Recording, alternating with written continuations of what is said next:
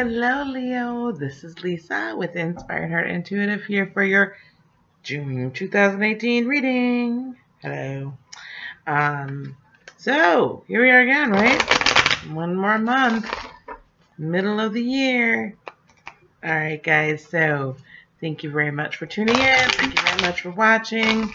I um, do it daily as well. Just want to let you guys know in case you didn't realize that. You'll see it in the playlist here. I call it co Coffee Convo and Cards. So we do that every morning here. We do rapid fire, one card per zodiac sign, and then we then put them all together to get the reading for the elements for the day, okay?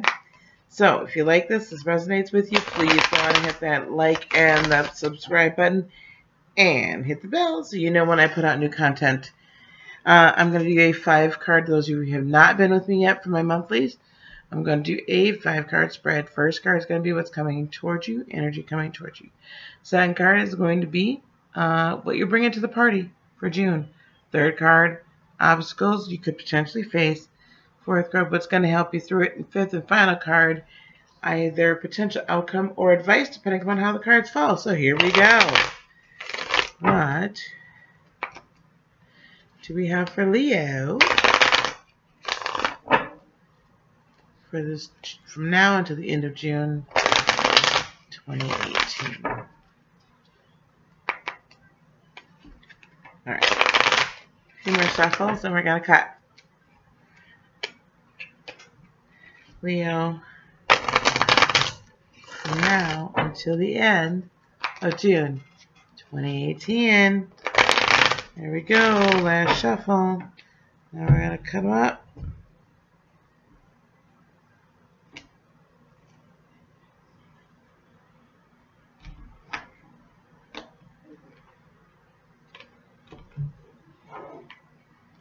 Okay. Here we go. First card, Leo. Nine of Wands in the reverse. This is what's coming towards you. So not a very good feeling of fulfillment or a feeling of completion or um, we'll get some clarifications on that. Why Nine of Wands in the reverse is there. Because usually that Nine of Wands in the upright is like, you know, here it is. I've paid a lot of attention to this one thing and it's really blossomed, but we're not, so I'm not seeing that. Or maybe that's an internal, you're work, doing some work on you internally. So we'll see that in a second, all right? Energy you're bringing to the party. Mm, maybe this is an internal thing for you now. Three of Wands in the reverse. So you're not really feeling like the ship's coming in or it's taking too long to come in. You're not seeing good forward movement or not feeling like there's good forward movement. And that's the energy that you're bringing in, which is kind of why you're attracting that Nine of Wands and the reverse energy as well. So, um, obstacle, yeah, you're not really feeling like you're the magician in the reverse. You're not really feeling like you're manifesting what you've been seeking, like you've really been wanting something and been working towards it and been really focused on manifesting and it's not happened for you. What's going to help you? Here, you know what? We've got a ton. This is really good energy for you. This is your fire energy is really like we're kind of getting that all in line. Here we got the two of wands in the upright. So what is going to help you? Now this can be a um, collaboration, finding a new collaborator, right? Making a decision, sticking with it, and moving forward. I like the Two of Wands energy because she's moving, man. She's reaching out to that sky. The beautiful eagle is out there and she's calling to it. She's like, hey, let's do this, right? So I'm feeling that energy for you to move forward. Potential outcome or advice in all this situation. Here we go, High Priestess in the upright. So follow your intuition. You already kind of know what to do here, Leo. Follow that intuition. Um, continue to work throughout. Why is the Nine of Wands here in the reverse? Why is the Nine of Wands here in reverse? Continue to work um, with that law of attraction quantum manifestation, continue to work on that. Uh, don't just give up on it just because it hasn't come into fruition yet. It does work. And I don't know who that's for, but it does work. Okay? You reap what you sow. That's a basic, you know, in Christianity, that's the basic tenet. You reap what you sow, right? It is true. And what you sow when we're trying to manifest, right? When you're trying to change the reality or bring or choose the alternate reality that is the one we wish, be our live be our best selves, raise our vibrations, whatever you want to call it. Mm-hmm. Why is the three of wands here in reverse? Um mm-hmm. Magician, why is magician here in reverse? uh, whenever we're trying to manifest, right? Um, what we're really utilizing, the seed that we're sowing, is the emotion. When we visualize the emotion that we feel, that we have, when we see this in our mind's eye, that is our seed. And that's what you have to hold on to. Because, ooh, uh, two of Wands, and we're going to go over all these clarifiers. Two of Wands in the upright. Why is Two of Wands here in the upright? Um, faith, right, is the evidence of things hoped for, right? And it is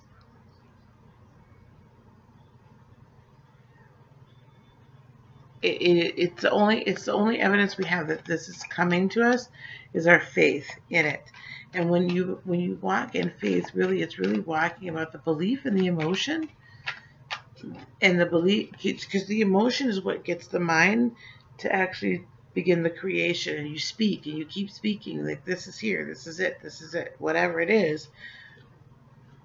Your voice, your sound, the sound waves goes out and creates it. That's not going to work.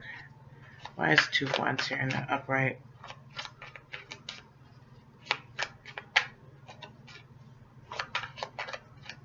I'm getting really good clarification. My point is this. When you speak it, you believe it, right, and you receive it. Speaking it sends that the sound waves out. The mind agrees with what the mouth says then what happens is spirit gets activated because the emotion is there of I can see I want that red Ford escape or whatever. It is. I'm so sorry guys. So so sorry, so sorry. Um and then universe goes out and, ta and takes care of it, creates it, brings it to you. However, the minute you start having doubt, right? Um, and you don't have, feel the emotion anymore about it, then the universe doesn't know what to do.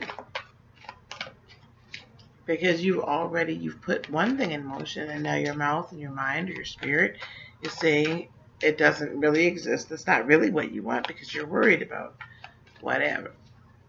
Okay? Why is two of wands here? Maybe I don't need to know yet. Okay, here we go energy we're bringing in nine of wands in the reverse and the clarifying card is the eight of pentacles in reverse. You don't feel valued validated that your work is being uh, acknowledged your hard work. You don't feel appreciated. So therefore you really don't understand just what like it's a you don't appreciate the harvest you've been getting and the growth you've been getting from that hard work because no one's appreciating you on the outside. So what I would say to you is appreciate your own hard work and bolster your own feelings about that, right? Validate your darn self. Or if I can be so blunt, validate your damn self, okay? Don't depend on anybody else to validate you. All right? Now, that's followed by the energy you're bringing, the Three of Wands in the upright, also clarified by the Hanged Man in the upright. You are not at rest, which is why you cannot see the good stuff that's coming on the horizon. You feel like there's nothing coming because you're not at rest, because you're not being validated. You're not being, you know, Leo, your little mane is not being pet, and you're just really, in, nobody's stroking your ego. You got to strike you gotta stroke your own ego sometimes, which you know sometimes y'all good at doing. But I do understand when we are not appreciated at our job, especially, and we're putting in so much work. It's so it is very difficult to really feel like we're making a difference and we're doing a good thing when we're not being appreciated. Um, I asked why then the magician. I get it. So I hear you. Just pray on it, okay? Maybe take a couple days off, shake it off. Uh, but really, you know, the right person is going to see that you're doing a good job. All right, then we have the magician in the reverse. The clarifier is five of wands, so there is conflict going on. And that's, I think that's why I just went and was talking about having the conflicting, you can't manifest if your words, your thoughts, and your emotions are not in line manifestation will not happen. It will never happen. The minute you put worry back in, if you've been trying to manifest a certain amount of money, and then you get this the uh, the feeling of lack back in your brain, that's it. Because in the here, you fear. All of this has to be in line, Leo, in order to truly bring into fruition to in order to manifest. Just put it that way. In order to bring that law of attraction into you to attract the things that you want you have to have everything in line. And you want to your dailies have been pulling some fantastic well this is your cycle of manifestation.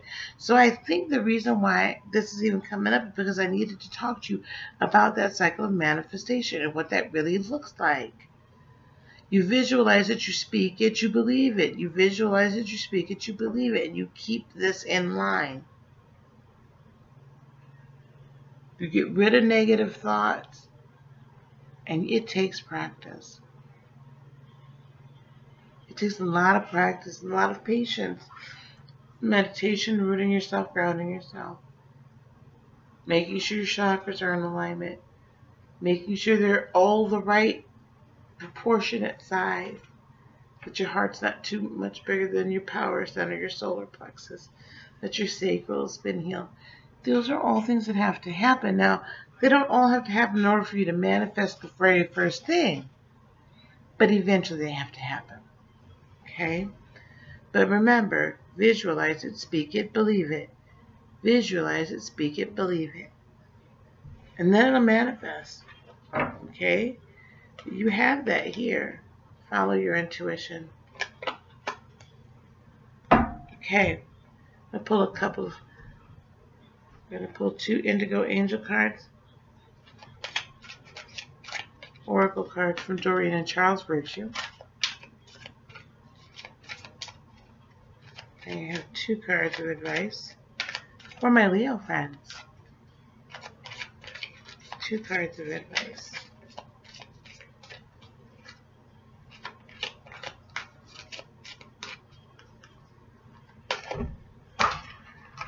Oh, I hate it when they run.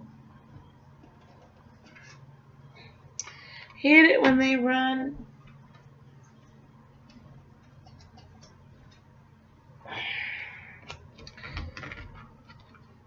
I need a bigger table. I need to get a webcam. I'm going to go get a webcam, I think, tomorrow. So that I'm not using the camera that's on my laptop. Get a better camera. I don't have a lot of space on my phone to, um, well, I mean, I keep on moving off, but you know how irritating that can be.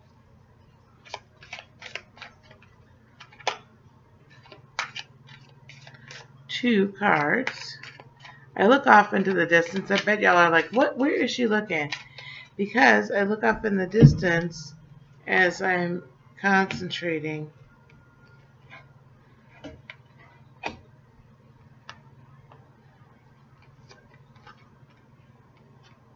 Divine purpose and compassion. I'm going to read compassion. I think divine purpose is, I, you've heard that from me before. I'll read it. Yes, I'll read it.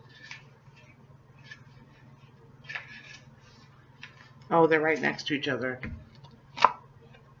Compassion.